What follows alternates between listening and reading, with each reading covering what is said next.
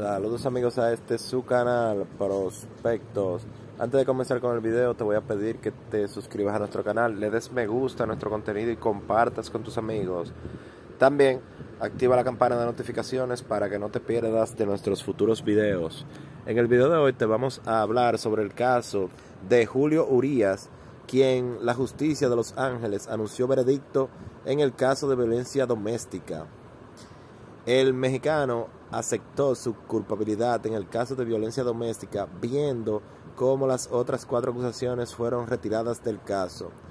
El ex lanzador de los Dodgers de Los Ángeles, Julio Urías, aceptó su culpabilidad en un cargo de delito menor de violencia doméstica este jueves, viendo cómo otras cuatro acusaciones fueron retiradas de su caso, el cual seguramente derivará en el final de su carrera en las grandes ligas.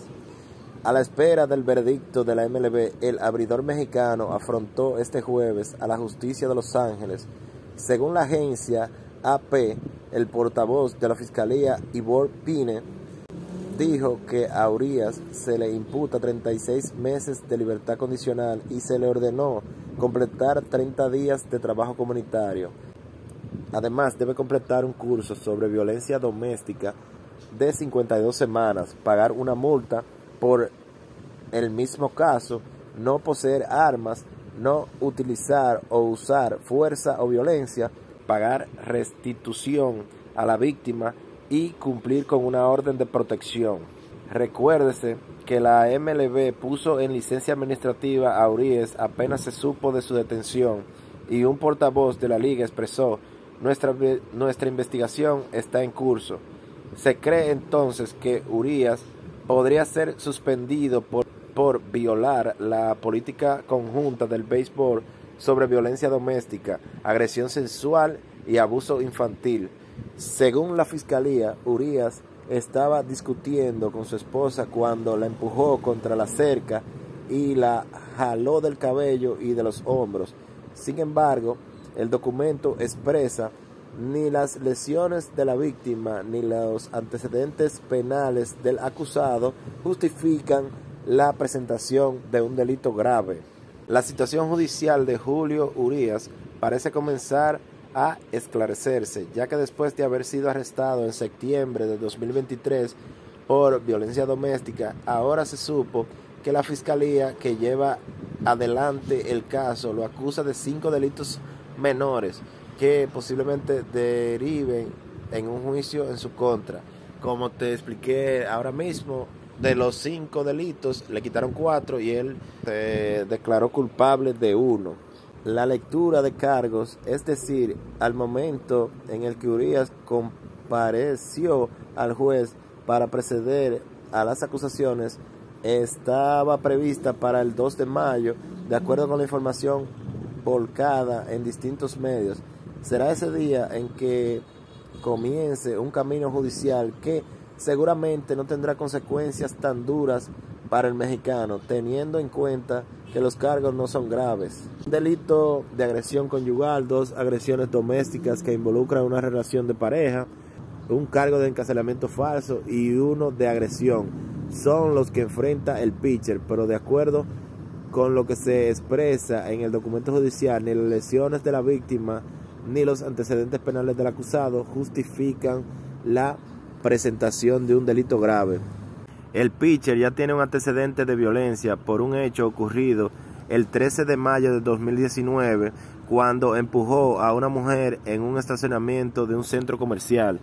En este momento también fue detenido y salió pagando una fianza, pero lo suspendieron por 20 juegos. Sin dudas, lo anterior influirá en la determinación final que tomen desde la Major League de Baseball, ya que Urias se convierte en un jugador con un múltiple historial respecto a este tipo de delitos, con los cuales la liga ya expresó que no tiene tolerancia. ¿Qué creen? ¿Creen que Julio Urias podrá regresar a grandes ligas tras la resolución de su caso? Tras la resolución de su caso, ahora falta saber la sanción de las mayores. Después de varios meses de incertidumbre en, torno al futuro de Julio Urias en MLB, Las autoridades de Los Ángeles llegaron a una resolución sobre su caso y tendrá que cumplir una serie de sanciones al llegar a un acuerdo. Pero ahora surge la siguiente pregunta. ¿Podrá regresar a grandes ligas? El lanzador ahora es agente libre. Tuvo efectividad de 4.60 la temporada pasada, su peor desde 2017 en más de 117 entradas de trabajo estaba en camino a conseguir un contrato de nueve cifras después de ser una pieza fundamental para los Dodgers ganaran el título de la Serie Mundial en el 2020 y comandó, y comandó la Liga Nacional en efectividad de 2.16 en el 2022. El incidente en septiembre del 2023 fue el segundo problema de violencia doméstica de Urias que Urias ha tenido desde que ingresó a las grandes ligas cumplió una sanción de 20 juegos en el 2019 después de supuestamente empujar a una mujer al suelo en un estacionamiento. No fue acusado penalmente por el incidente, pero la liga aún así lo suspendió. Ahora el mexicano tendrá que cumplir 36 meses de libertad condicional funaria y deberá completar 30 días de trabajo comunitario. También debe completar cursos de asesoría sobre violencia doméstica de 52 semanas. Oigan esto, y pagar una tarifa del Fondo de Violencia Doméstica. Tampoco podrá poseer armas ni realizar ningún acto de violencia y deberá pagar restitución a la víctima y acatar una orden de protección. Ningún jugador ha sido suspendido dos veces bajo la política de violencia doméstica de la liga. Oigan bien, que se implementó en el 2015. Si MLB impone una suspensión en este caso, Julio Urias sería solo el cuarto jugador suspendido bajo la política. Como agente libre, la suspensión la tendría que saldar con su próximo equipo. Eh, hay que ver qué equipo se arriesga a darle un contrato a un jugador que, que ha demostrado su valía, pero también eh, tiene que pagar unas cantidades de juego que seguro van a ser va muchos, porque la MLB como te lo expliqué antes, tiene tolerancia cero con este tipo de casos y todavía falta que den el veredicto a ver cuántos juegos es que lo van a suspender. Pero lo último que se pierde es la esperanza. Vamos a esperar en el futuro, cuando MLB determine su decisión del caso, a ver cuántos juegos le imponen y si algún equipo lo quiere firmar.